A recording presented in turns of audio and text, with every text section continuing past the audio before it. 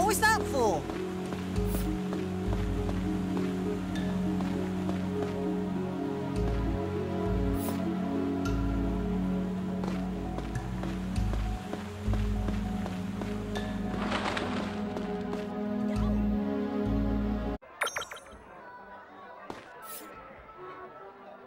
I don't really care about all this night business. Just let me swing a sword around and enjoy the odd drink. That's all I need. But uh, I'd hate to work with that prat from the other day. Who did he think he was? Anyway, it's up to you.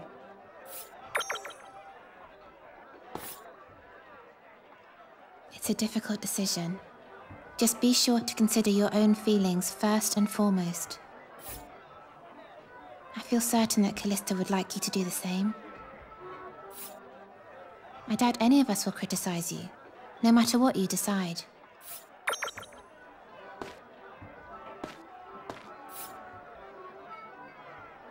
Hmm, I think I'd go for it.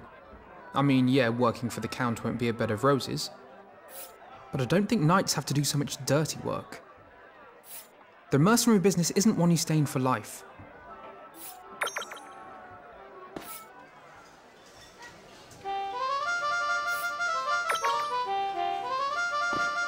Oh, I'm the worst father in the world.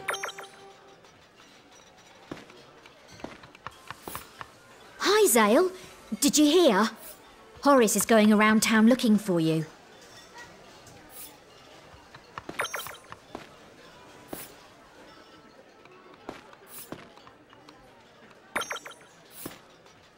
There was a man in a robe. He kidnapped my daughter. I, I tried to chase after him, but he tore me to shreds. I didn't stand a chance. Ah, damn it all to hell. What can a normal guy like me do in a situation like this? I've never even touched a weapon before. How can I rescue my daughter? Hey, could you find. Oh, thank you. First, you'll have to find the man in the robe and follow him.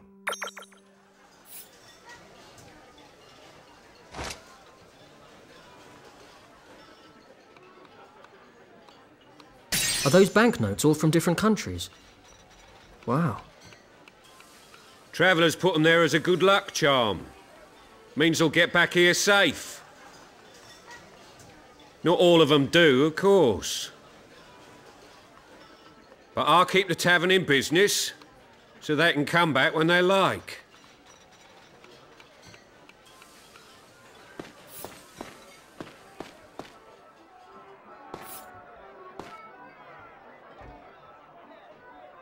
Did you decide what you're doing about the Count's offer? Not yet. Bear in mind, this doesn't just affect you. We all have a stake in this. We can get out of this way of life. No more waking up every morning and wondering if that's the day we die. It works out well for Calista too. There's a lot for you to think about. Yeah, I know.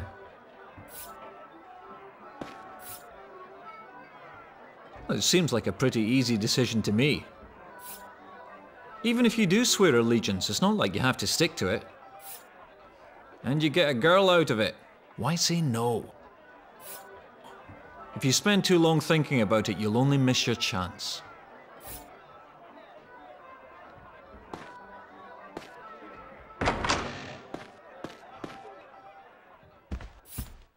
Good to see you again. You're looking pretty strong now. I recently got into the appraisal business. Need anything appraised?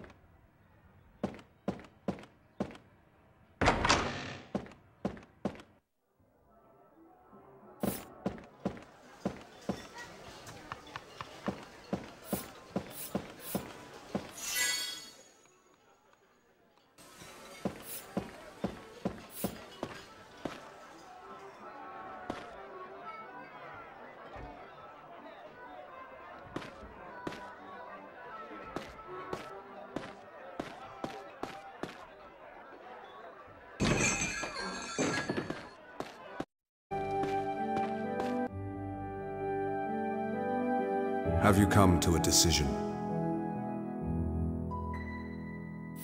Soon you will become a knight, and if you perform well, then I would consider letting you marry Calista. That doesn't sound so bad, does it?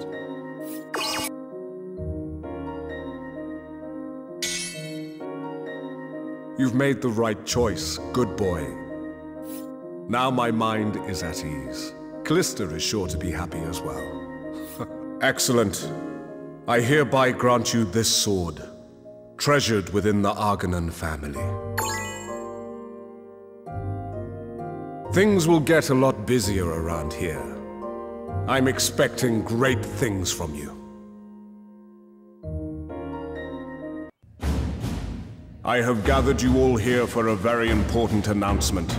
This horrific assault has taught us one thing, that the threat of the Gurak has by no means been consigned to history. Fortunately, the crisis was averted.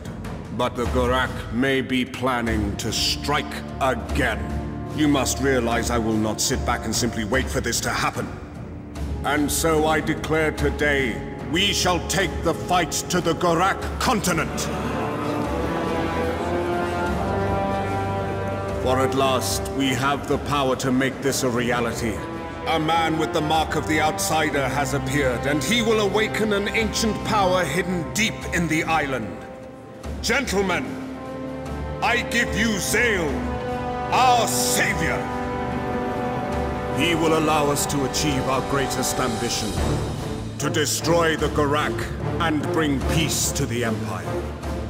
These two fine men, Zael and Dagran, have already dealt the Gurak a significant blow by heroically assaulting their frontline base. Therefore, today I officially name these two knights in training and retainers of my court. Grant them your full support.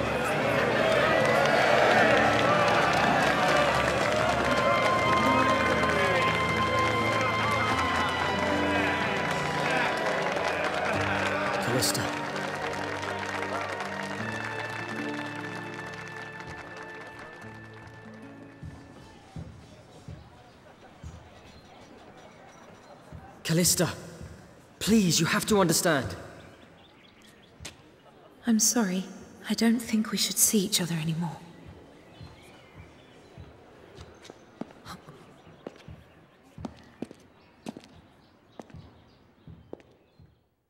And so Zael and Dagran became knights in training and official retainers of the court. Their dream was finally within their grasp. It seemed that their days of fighting for survival might soon come to an end. The wheels were in motion. Yet Zael still harbored some doubt. Well then, here's to Zael and Dagran, the new knights in training. Cheers! Cheers! Can't believe it's finally happened. You're on the road to becoming knights. I'm proud like you wouldn't believe. What are you proud of? You didn't do anything. You're joking. Without me fighting by their side, they'd never have made it this far. Can we not enjoy a friendly drink today, without all the usual bickering? So, I guess it's all out war with the Gurak then. Looks like we'll all get a chance to show our stuff. Exactly. Zael and I may have been picked first. But you've all been made official retainers in Count Arganan's court. The dream is for all of us to be knights. I won't stop working towards that. I can just see the look on Sir Hoity-Toity's face when he finds out we're knights. Zael, what's wrong? This is supposed to be good news. Oh, it's nothing. Are you feeling disheartened because you weren't able to see Lady Calista? Don't be down in the dumps. Women change their mind from one second to the next. Indeed. Never has a truer word been spoken.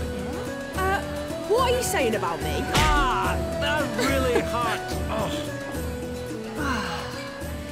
Now I'm all hot and bothered. Guess it's time for what you've all been waiting for. what? What have they been waiting for?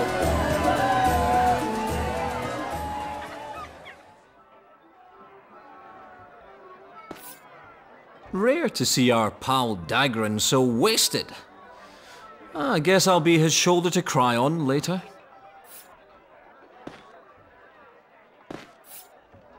Ah, it's good to move up in the world. But I'm already sick to death of all this formal manners stuff. At least I can still come here and relax. Maybe it's not so bad. Didn't I say I'd make you a knight one day? it's funny seeing you drunk. We're gonna be happy from now on. You hear me? We're gonna make it! Dagran, I wish it was that simple.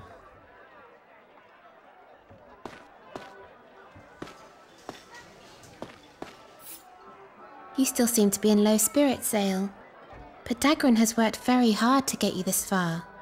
This is a time to eat and drink, and eat and eat and eat and be merry.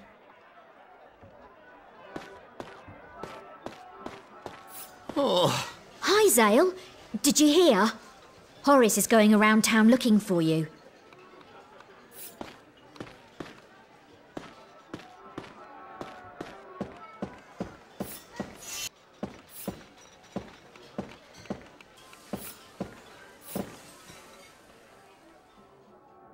Why is that guy want to find a master of archery anyway?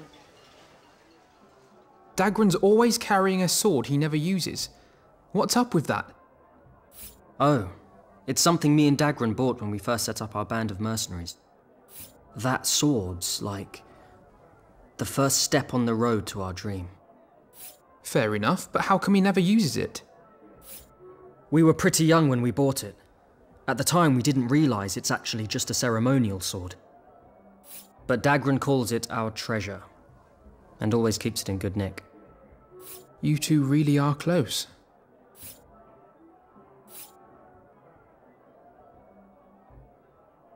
Why is that guy want... Why is that guy want to find a master of archery anyway? Weird sort of thing to be looking for, if you ask me. Oh, Zael! Has that little discussion caught your interest? Can you tell me a bit more? I don't see why not. There's a guy dressed in blue, over in Fountain Plaza. He hassles everyone who comes past, asks if they know a master of archery. Apparently, he's just dying to meet one for some reason. That's a point. You're not bad yourself, are you? Why not go and see him?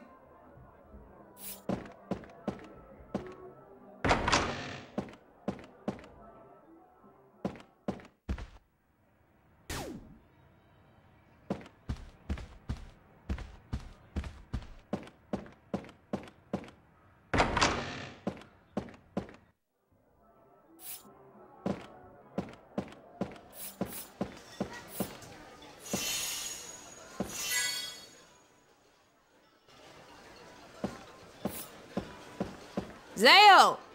Come here and chat for a bit. It'll be great. Careful, Zael. You won't escape till morning.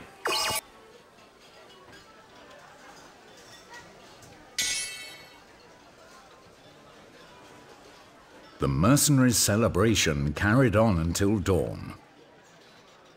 And, the next morning,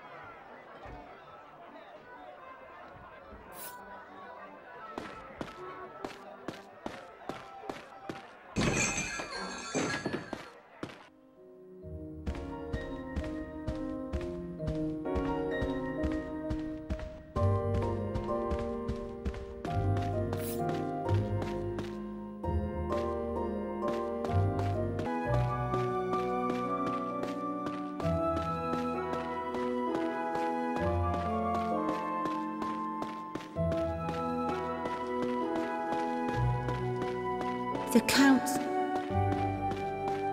Master Zael, the Count summons you and your companions.